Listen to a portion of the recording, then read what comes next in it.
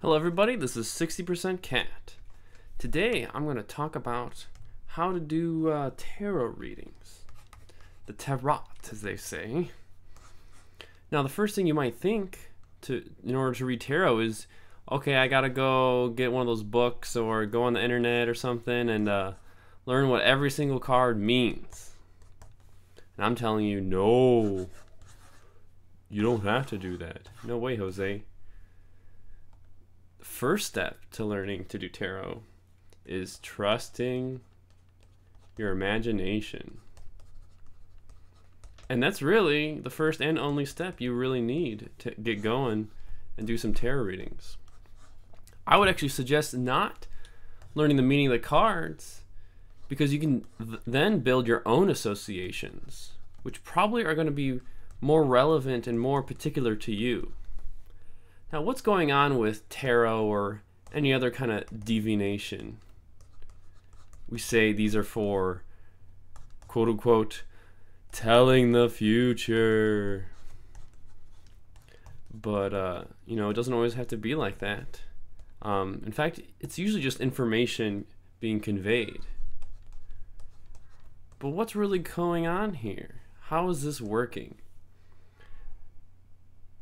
What I think is that tarot is really almost just an excuse. It's almost like a vehicle for your own intuitions to come up with information for somebody else. Now, you could even define intuitions as the subconscious if you don't want to believe in into that kind of stuff. So, if anything, your subconscious picks up on certain things. They say that your conscious is only maybe like 10% and your subconscious is 90% there's all this information whizzing by you and and part of your mind is taking track of every single other bit and coming up with conclusions about that information. So tarot is kind of a way to allow that subconscious information to c- come through. So when you're giving somebody a reading pulling out some cards they're on that side you're on this side and you're you just start looking at the, a card.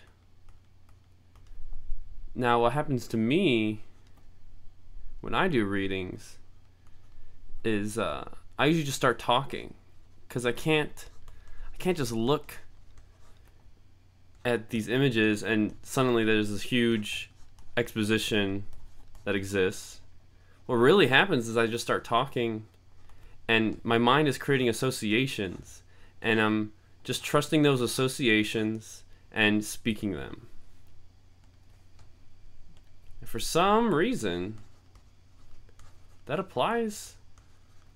It applies to people. People get information that's relevant to them. And you can say that almost they're doing the same thing. You're taking, you're using uh, something, a medium, to pull out subconscious information and they are taking that information, filtering it, utilizing their subconscious, and creating conscious information for themselves. So you could say you do this with tarot cards, but you also do it every day. You're doing it when you're reading somebody's gestures or something.